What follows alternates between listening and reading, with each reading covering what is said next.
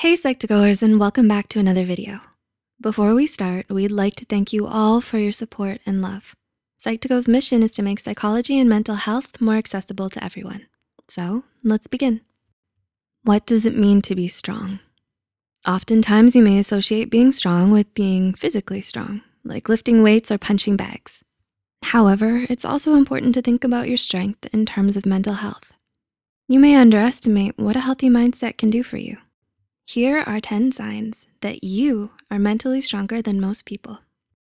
Number one, you allow yourself to cry.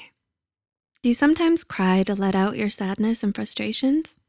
Psychologists have found that crying can actually help you relieve tension and stress and help relax your muscles. Without this emotional release, your body may end up taking on more physiological stress, and it may lead to problems such as mental fatigue, higher blood pressure, and lapses in memory. Number two, you don't try to control everything. You constantly have to manage everything or make sure things are in place and fear it'll go wrong. Sometimes there are things that are out of your control and holding on instead of letting go may end up hurting you. A sign of mental strength, therefore, is in learning to let go of some of the uncomfortable things in life.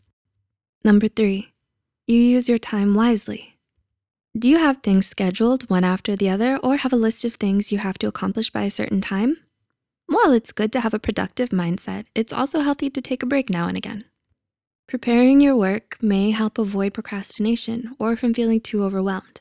It's important for your mental health to have a balance of work and other activities. Number four, you practice gratitude. Have things not worked out for you lately? Maybe a concert you were really looking forward to was canceled, or you didn't get to see your best friend. While you may feel frustrated and be tempted to complain about all the things going wrong, it's also important to practice gratitude for the things you do have. Instead of focusing on all of the bad, appreciating the things you have can go a long way for your mental health. Number five, you're kind to others. Do you help your neighbors with their groceries or help your friends study with a difficult exam? A sign of true strength is to practice empathy and compassion even when things are going wrong.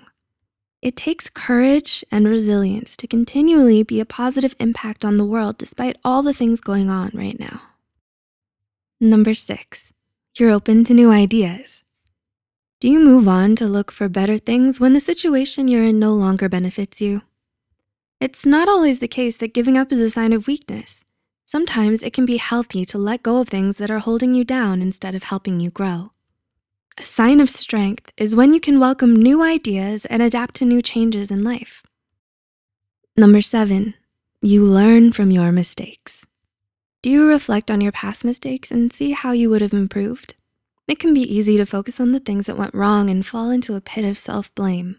A sign of mental strength is the ability to acknowledge your mistakes and find ways to improve and be better. Number eight, you spend money responsibly. Do you buy things you don't need? Impulse buying, especially in this day and age, can be tempting and very easy to do. Having self-restraint and discipline is important as it can help you be aware of the things you really need instead of buying the things that may only help satisfy an urge. Number nine, you're not codependent. Do you overly rely on others for support? When you don't have a strong sense of self, you may end up depending on others for everything, including to validate your worth. And therefore, it's crucial you're able to work on your own problems and overcome obstacles on your own to develop a strong sense of self. And 10, you continue to persist. Do you give up or keep on going when things start to get difficult? Experiencing rejections and failures can sometimes lead to defeat, but the key is whether you get back up and keep trying or not. You may feel frustrated or even upset at times, but a sign of mental strength is in your persistence to keep going. Do you think you're mentally strong? Tell us about it in the comments below. If you enjoyed this video, please like, subscribe, and share it with others who may find it helpful too. All the references used are located in the description box below.